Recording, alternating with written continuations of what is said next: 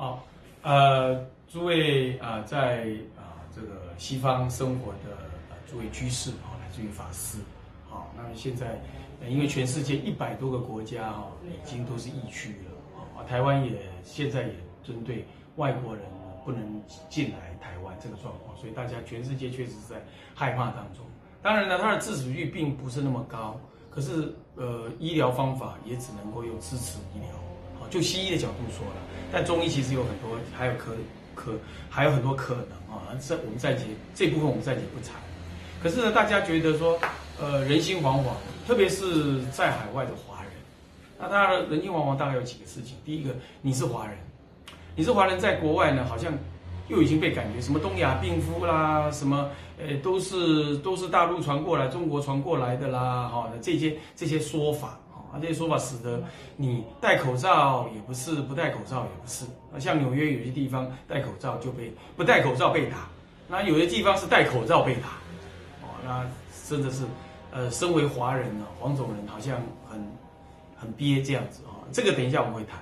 但是就佛法来说，我们先谈一个因果，这势必是一个因果。古人有说什么？呃，什么？呃，预言如何如何？所谓的预言就是。一大群大众，啊，这个世界的大众呢，他的思想一直往哪里偏，往哪里偏，他有一种倾向，这个倾向在角度抓对了，速度抓对了，那什么时候到哪个点，基本上都算得出来。所以，因此这个所谓的预言，也也不会去讨论它对或错，反正就发生了。那说它是预言的话，好像是说比较安心一点，好像说哦，本来就会发生，不是佛法也不是这样讲，佛法是可以让它不发生。但是不发生也仅止于别业可以不发生，共业很难不发生，因为什么？因为共业太大的因缘了，所以很难让它改变。但是我们现在抢的是抢别业，什么意思呢？全世界为什么会传染的这么严重？先先不谈国与国争的这事情啊，我们就说好吧，从武汉发生，武汉发生为什么会发生成这么严重？当然，就中国来说，它有它政治上的原因，我们也不谈。可是全世界为什么会这样？是因为很多人在中国做生意，所以这个是，这就是叫做命运共同体了。所以谁也不用怪谁，我们现在要面对。首首先我们看弄清楚这样，好，那不是说谁倒霉谁不倒霉。呃，要讲倒霉的话，呃，谈到历史，那曾经曾经西方有侵略中国的事实。好那现在中国呢？他他在想要复兴，所以他作为他做成了世界工厂。那做这世界工厂的时候，为什么他又成能够成为世界工厂？除了中国有这个意志以外，全世界也贪便宜嘛，啊，也贪呃环境保护没有那么严格嘛。早期的中国你也知道的，他用好多的污染自身的环境来赚取外汇嘛。你看看，这其实本身就不公不义了吧？这个经济上面本来就这样，所以就事物来看。没有所谓的谁害了谁，就这个历史上来说是这样。当然，有短期之内的操作问题，这个操作问题确实会被人家认认为说，哎，是你们华人如何怎么这这般？那这个呢，就叫共业。诸位，承担这个共业，是一个佛弟子必须要面对的事实。像释迦佛也是啊，他曾经在世的时候，他也他有弟子也曾经有预言到说，他佛法的灭啊。世尊也是说，这就众生的共业，所以共业是难转的，非一人一力可转。可是别业可以。我刚讲，我刚讲的是共业，共业必有它共业的因缘，但是别业不同。别业的话就是诸位了。诸位，你想想看啊，过去我们是把动物关在笼子里，然后呢要斩杀它，让它产生恐惧。你你看看，现在是现在是从动物身上传到人类的这个这个这个疾病啊，是因为他用疾病来关注老百姓，嗯，人类被关注，然后呢，旁边那些动物反而自在的很，哎，甚至没有人敢碰它了，这就是什么呢？个人在造杀业，病一定是杀业而来，要要知道，所以说减低杀业，这是绝对必要的。再来扭转自己。增上自己的这个别业的一个清净相，这也是必要的。怎么样清净相呢？其实就是有瘟疫来，在普门品当中就告诉我们，就是要诵普门品，念观音菩萨圣号。每一天你就是念固定的，我觉得不要少于三千声，然后普门品至少你可以送个三次啊，早中晚，你自己什么中间休息的时候啊，你都可以送。那送的时候呢，你要回向自己家人，还有这个世界或者你所在的地方，大家怎么平安？问尤其是你所在的地方，不能只回向你自己，因为隔壁的隔壁的染病你也不会好处啊，所以要回向整个社区、整个国家，无论你住在哪里啊，这点一定要做。再来呢，就是要如数。我我一直在想，我说我们要忏悔，要敬畏，忏悔什么？忏悔我们。对天地、对动物不当一回事。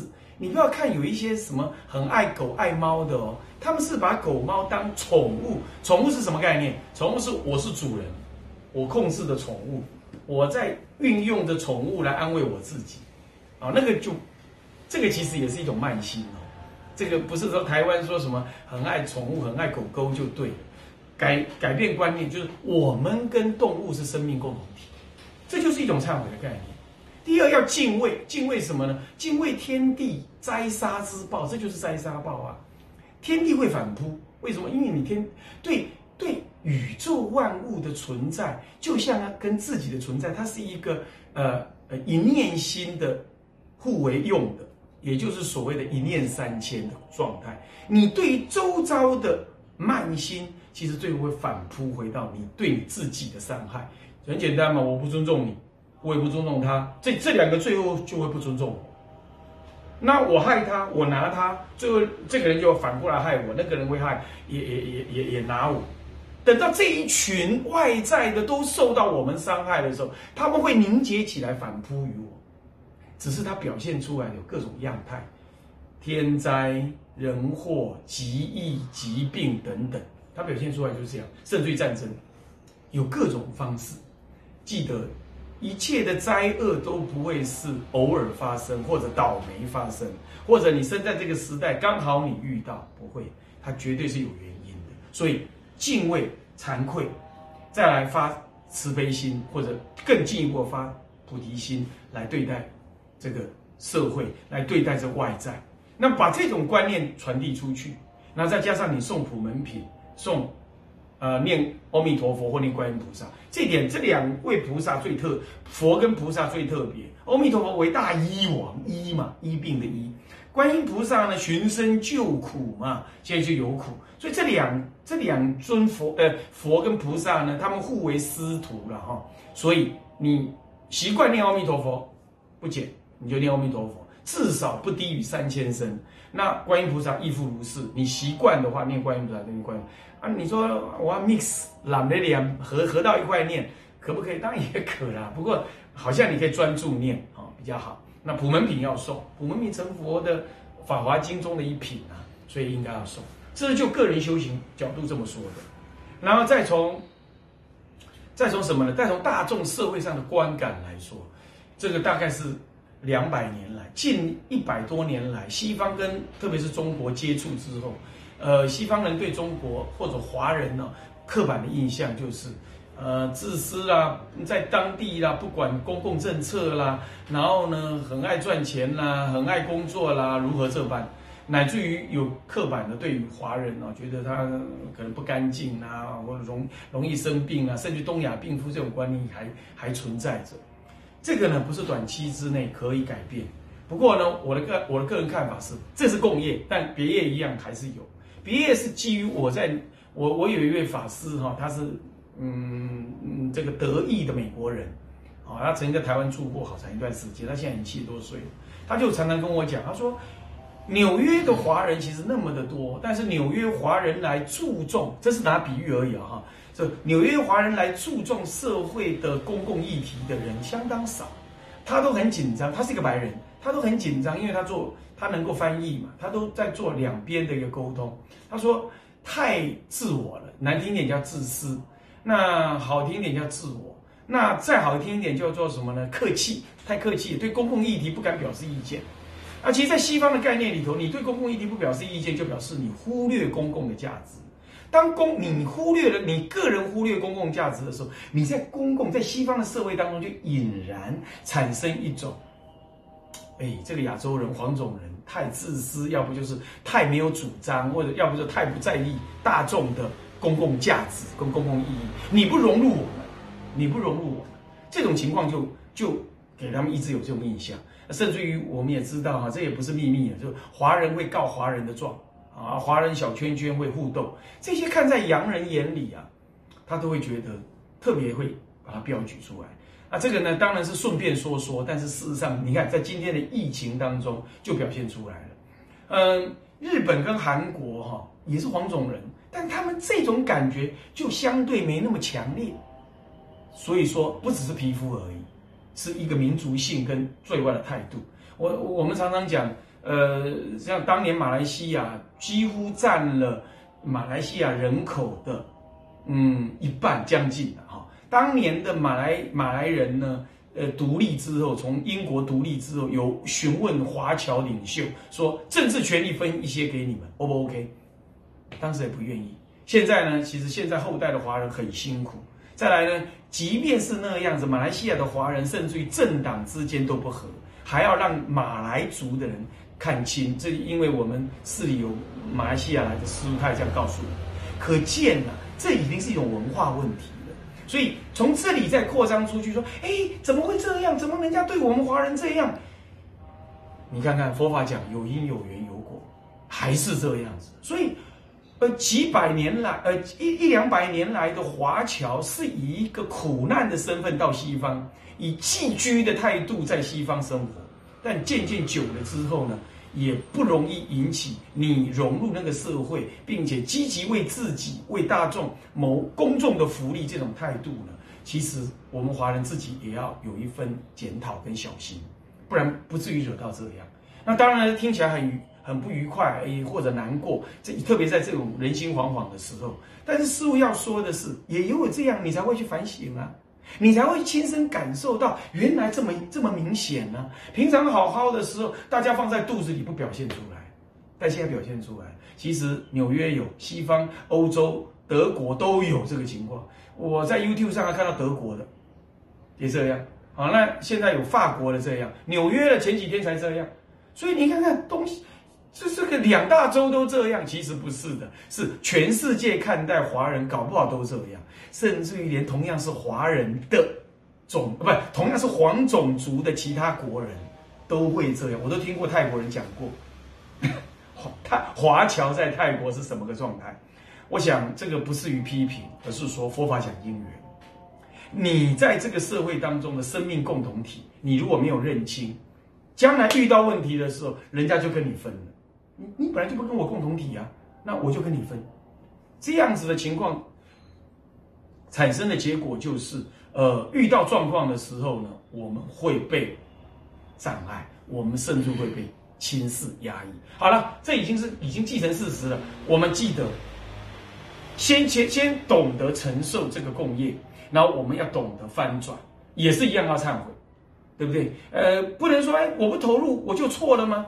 试错喽！你看，大家都在一条船上面，你你你煮你的饭吃，大家在往前划的时候，你说你们忙就好，我弄我的，别人这样看就会不舒服。你要知道，所以公众事务呢，我们要表示关心跟支持，这可能是华人社会在华人在海外时候应今后要学要学会的。少分调整，这不保证改变华人，呃，改变西方人对我我们华人的黄种皮肤的人的什么看法？但是至少可以改变你的别业，你的别业可以改变。OK，好，那刚刚讲了两件别业了，对不对？是文化性的别业，我们也要调整。还有呢，业障型的杀业别业，我们就要用知数、行慈悲法、忏悔、敬畏，以及。协助救济这这几样来进行这个所谓的所谓的呃调整，那最后当然呢。呃，我的建议是，西医只是事后医防了哦。那中医或者是生理调理，大家都知道啦，类似什么姜啊、姜黄啊，或者是某些中药的调理，你可以在网络上面呢，呃，再多了解。那也不要贸然行动啊，因为现在都被买光光了，中药都被买光光了，也不要贸然行动。但是多了解，那询问你的中医的呃呃医师或者中医的朋友，哦，是这样。当然呢，师傅也会想办法。跟台湾的相关单位，包括立法委员反映这个事情，台湾应该要领先来讨论怎么样西西医之外的中医预防以及医疗，因为它可能要长期作战。好啊，我们知道杀或者是调理。呃，消炎的这种药啊，在中医角度来讲是比较寒的，哦，那这样寒寒到后来，你你没有调理的话，身体也受不了啊。这是题外话。这但是呢，大家要注意，也就是说，不在海外，大部分西医多，那你也稍微注意一下中医的那个概念。